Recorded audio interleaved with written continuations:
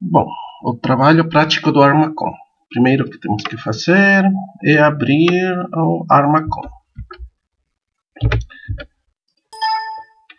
Então abrimos o Armacom, vamos escolher vigas.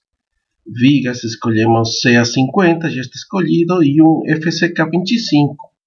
Retangular ou viga T, retangular.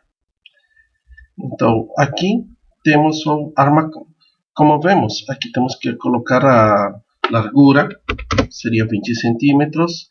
Aqui a área, podemos colocar 31 e aqui 4 centímetros, porque Armacom ele não consegue colocar decimais.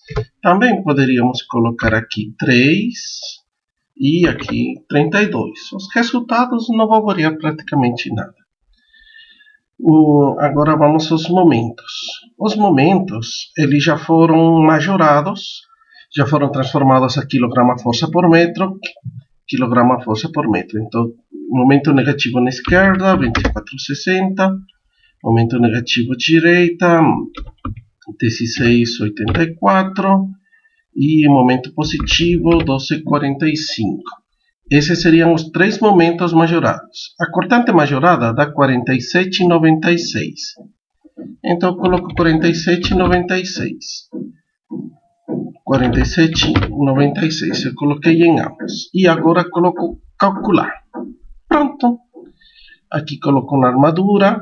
A armadura vai me dar hum, aqui 2,63, aqui 1,76, aqui 1,29 e aqui as áreas 446 446 utilizando aqui o aço longitudinal por exemplo este 263 vamos colocar dos dos FIDE 6 dá 1,57 3 FIDE 6 dá 2,34 4 FIM dá 3,14 3,14 então tranquilamente dá 3 φ de 10.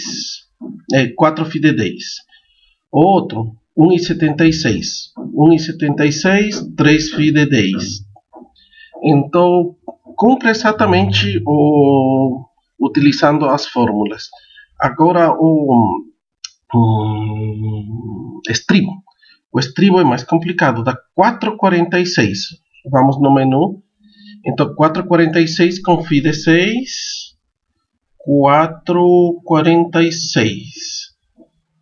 FI de 6 cada 14. Então aqui não está batendo os estribos, porém se bate o aço longitudinal. Então essa é a minha recomendação. Não utilizem esse arma com